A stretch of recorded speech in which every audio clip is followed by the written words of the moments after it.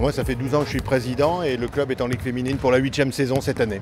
Depuis que nous sommes en Ligue féminine, on a eu le plaisir d'à la fois de jouer trois Coupes d'Europe, deux fois l'Eurocoupe, une fois l'Euroleague, d'aller une fois en finale de l'Eurocoupe et euh, de gagner aussi la Coupe de France il y a à peine deux ans. On a eu 12 euh, bus qui sont venus euh, nous accompagner, plus les voitures personnelles, donc on a été accompagné à la fois par la ville, par les institutionnels, mais aussi et surtout par le public.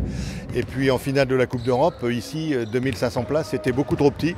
Je crois qu'on a dû faire 6 ou 7 000 déçus parce qu'on n'a pas pu rentrer tout le monde et que ces 6, ou 7 000 déçus espèrent qu'on rejouera prochainement une finale de Coupe d'Europe. Euh, je pense qu'Arras a découvert un sport avant tout, euh, a découvert avant tout le basket féminin, qui est un sport un petit peu différent du basket masculin, un peu moins spectaculaire, mais avec plus de convivialité. Et puis en plus, ce qui était pas mal, c'est que les filles sont très accessibles. Et ça, je pense que les gens aiment, aiment aller rencontrer les filles. Voilà, elles sont normales et les gens aiment les gens normaux.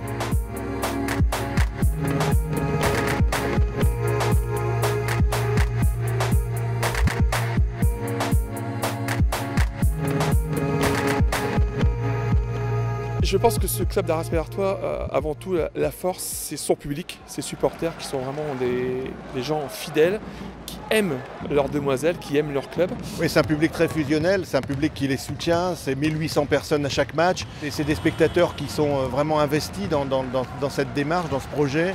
C'est des spectateurs qui accompagnent vraiment, y compris à l'extérieur. Euh, ça veut dire qu'ils aiment cette équipe, donc quand elle gagne, ils sont ravis, mais quand elle perd, comme dans toute histoire d'amour, il y a un peu de tension des supporters toujours fidèles. Ils sont là, même quand on, enchaîne 11 défaites, c'est quand même euh, joli de, leur part de rester là et de nous encourager jusqu'à la fin. Et sans eux, c'est vrai qu'Arras ne serait pas euh, le même club. Et euh, moi, je suis fier de, jouer dans ce club-là. Bah, je pense que c'est une chance et c'est une ambiance exceptionnelle qui nous pousse et ça nous, ça nous aide à nous transcender.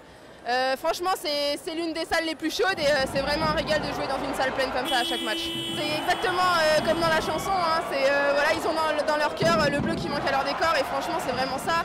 On a toujours été très bien accueillis ici. Euh, c'est vrai que cette année on a une saison difficile au niveau des résultats, mais euh, encore ce soir la salle est pleine et euh, je pense que ce serait pas comme ça partout. Donc franchement c'est super et, je les remercie encore bah, voilà, d'être toujours derrière nous et c'est un réel plaisir. quand on vient dans le Nord on pleure, mais quand on repart on pleure aussi parce que c'est des gens qui ont le cœur sur la main, qui, donneraient tout, qui, comptent pas, qui sont là quoi qu'il arrive.